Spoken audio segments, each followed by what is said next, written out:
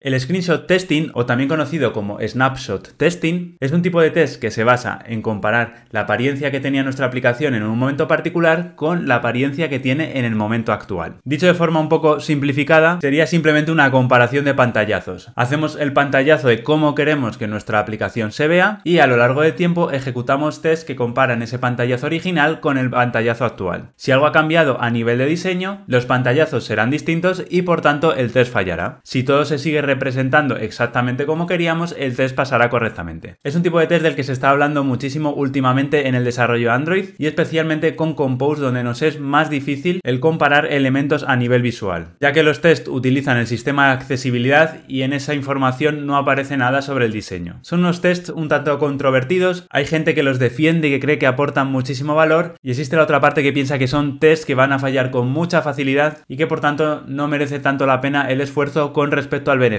esa parte la voy a dejar un poco en tus manos, que pruebes y tomes tus propias decisiones, pero en el vídeo de hoy te voy a explicar cómo hacerlos en Android y además sin librerías de terceros. A día de hoy existen varias librerías, las más populares son Shot y Paparazzi, aunque existen unas cuantas más, pero mi objetivo en este vídeo de hoy es explicar el concepto, al final todas las librerías lo que van a hacer es darnos herramientas que van a hacer este proceso mucho más sencillo, pero el concepto lo podemos ver simplemente con las APIs que nos ofrecen las librerías de Android. Así que vamos a entrar en la aplicación de Architect Codes, que es la aplicación de una de mis formaciones, donde explico todo sobre arquitecturas, inyección de dependencias, testing y por supuesto tenemos test de UI implementados y por tanto ya tengo toda la base configurada para poder crear y ejecutar esos test de screenshot. También decirte que si te interesa Architect Coders tenemos ahora mismo las reservas abiertas para la próxima edición, solo tenemos 50 plazas y se están cubriendo muy rápido, así que te animo a que vayas allí, le eches un vistazo y si tienes cualquier duda nos contactes por el WhatsApp que encontrarás enlazado en la web. Dicho esto, nos vamos a ir al código. Aquí tengo un test de instrumentación básico donde ya he configurado ciertas reglas, porque estamos utilizando Hilt, un mock web server para eh, moquear las peticiones y también para habilitar el permiso de localización. Y luego tenemos una última activity rule, que es la que ejecuta el escenario del test. Luego también aquí hay algunos elementos extra, como la configuración del mock web server,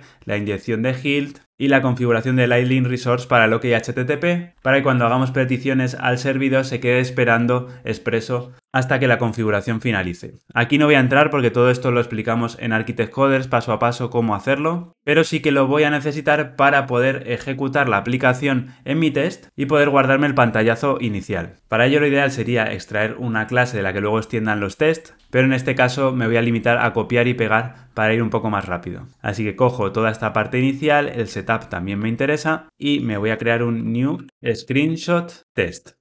Aquí pego lo que me he copiado, que ya hemos visto un poco cómo funciona todo ello, cierro al final y vamos a crear los tests. En esta ocasión voy a crear dos tests, uno para grabar la imagen actual y otro que sería el que compara el estado actual de la aplicación con la imagen que hemos grabado. Idealmente, como nos interesará ejecutarlos por separado, puede ser interesante que los tests de grabación estén en un archivo y los de comparación estén en otro. En este caso lo voy a hacer junto, simplemente por simplificar, pero que te plantees que puede tener sentido separarlos. Entonces, me creo aquí un nuevo test que lo voy a llamar, por ejemplo, record home screen. Como lo que queremos es grabar toda la pantalla, lo que vamos a hacer es llamar a onView y buscar la vista que sea el root. Importamos las dos funciones y lo que necesitamos es guardar la imagen del root. Y para ello tenemos que llamar a una función que almacene esa imagen. La función se llama capture to bitmap, que si te fijas aquí no me la importa, y esto es porque esta función solo aparece en las últimas versiones de Expresso. Así que voy a actualizar la versión. Aquí lo tengo guardado en el build source, pero te recomiendo que eches un vistazo a un vídeo que tengo sobre Version Catalog para ver una forma un poco más moderna de hacerla. Y aquí tenemos la versión 3.4.0. Yo sé que en la 3.5.1 ya está incluido, así que voy a añadir esa y voy a sincronizar. Una vez que tenemos esto, si te fijas, ya nos permitirá importar Capture to Bitmap. Recuerda que es importante utilizar las últimas versiones de Expresso para poder acceder a esta función. Una vez que hemos capturado el bitmap, si te fijas, esto devuelve un bitmap, necesitamos guardarlo.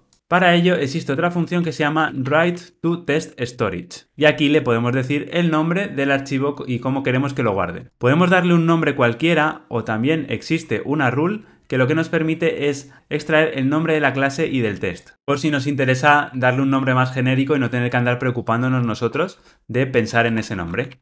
Así que podemos añadir esa regla, en este caso sería la cuarta en el orden, y la vamos a llamar val name rule y esta regla se llama test name, que si te fijas está dentro de JUnit rules. Esto sería un igual. Volviendo aquí abajo, podríamos decir, por ejemplo, que queremos que el nombre del fichero sea $javaclass.simplename y podemos separar con un guion bajo y utilizar del name rule el method name. Con esto nos va a dar el nombre de la clase guion bajo el nombre del método. Por si acaso hay dos clases que tengan el mismo nombre de método, así no se sobrescribe el fichero generado. Muy bien, pues vamos a ejecutarlo y ver qué pasa. Y hemos visto que se ha lanzado, ha hecho el pantallazo y se ha vuelto a cerrar. Esto a veces puede lanzar una IO exception, así que Podemos marcarlo aquí si queremos, como throws y o exception, dos puntos, dos puntos class. ¿Y dónde nos ha guardado la imagen? Esta es una de las pegas que tiene el hacerlo así, que si lo hacemos con librerías un poco más profesionales o un poco más evolucionadas, no tenemos que hacer estos pasos, pero realmente la imagen se nos ha guardado dentro del dispositivo. Así que nos tenemos que ir a Device File Explorer y en SDK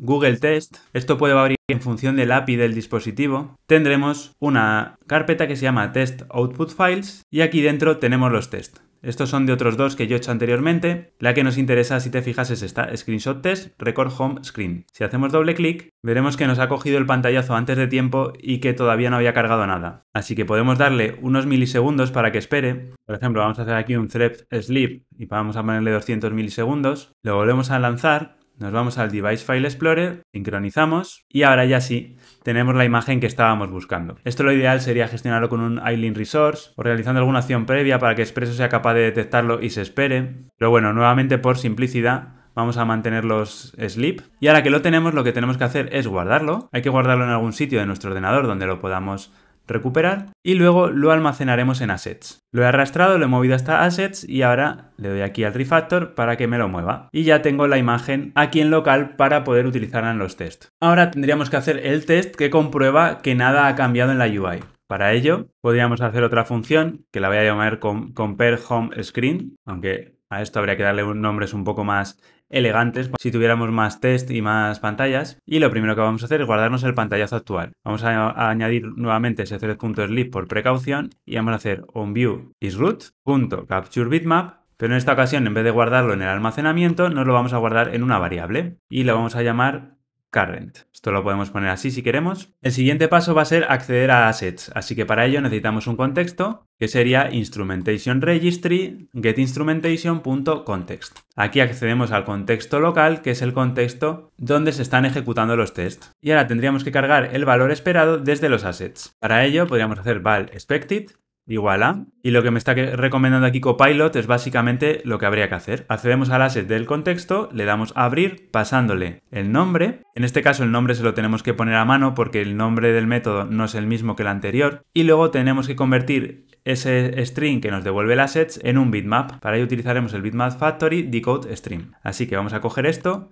y vamos a adaptarlo un poco. Tenemos ctx.assets.open, el nombre es este, sí que lo copio y lo pego aquí. Y luego llamamos a la función use, que por si no la conoces es una función de Kotlin que trabaja con elementos closable, de tal forma que lo usamos y automáticamente lo cierra al final. Y en este caso tendríamos que llamar a esto bitmapfactory.decodeString. En realidad esto si queremos lo podemos convertir en una referencia a la función, para que quede un poco más limpio. Finalmente, ¿cómo comparamos estos dos assets? Pues podemos utilizar una función que existe en los bitmaps que se llama sameAs.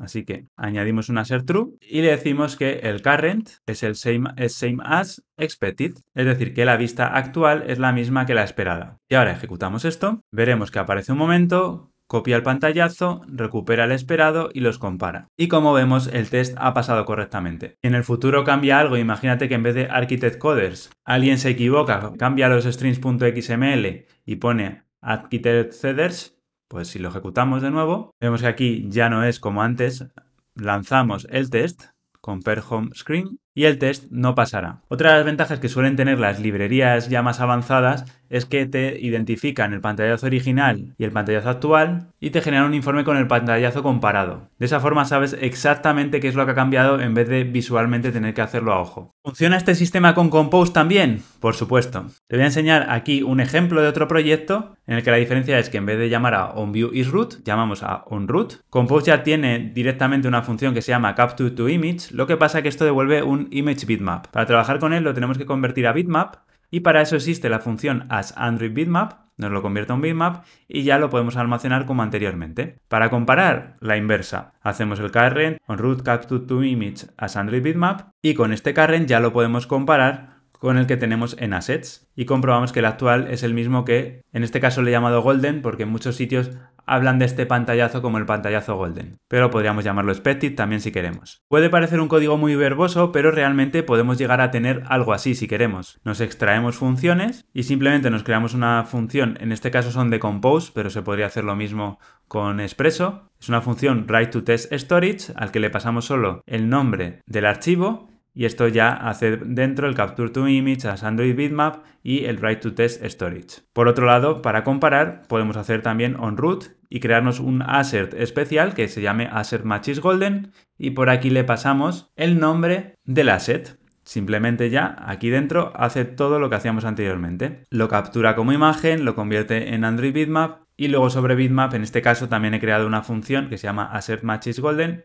que lo que hace es buscarlo en assets y compararlo con el assert true. Es decir, lo mismo que antes hacíamos desde fuera, pero ahora con funciones que como las vamos a reutilizar mucho si seguimos este proceso, ya lo tendríamos mucho más limpio. Así que nada, espero que te haya resultado interesante este sistema para hacer screenshot testing. La verdad es que es muy básico, muy sencillo, así que para proyectos complejos quizás se te queda corto, pero para empezar y para tener una idea de cómo funciona el screenshot testing me parece súper interesante. Además luego ya tendrás que entrar a valorar cuáles son las distintas librerías que existen de screenshot testing, cuáles te encajan más, cuáles menos. Hay algunas que se ejecutan en dispositivos, otras que usan el sistema de preview y por tanto son mucho más rápidas, pero también más propensas a errores. Así que ahí ya vas a tener que hacer tu propia investigación, ver los pros y contras de cada una y tomar una decisión. Ya finalmente, solo recordarte que si quieres aprender sobre testing y sobre todo acerca de cómo organizar tu código para luego poder hacer test de forma sencilla y eficiente, te recomiendo que le eches un vistazo a Architect Coders, te lo he dejado en el primer comentario en la descripción. Dime si te gusta contenido de este tipo, déjame en los comentarios qué otro tipo de vídeos te gustaría ver y nos vemos en el siguiente. Un abrazo.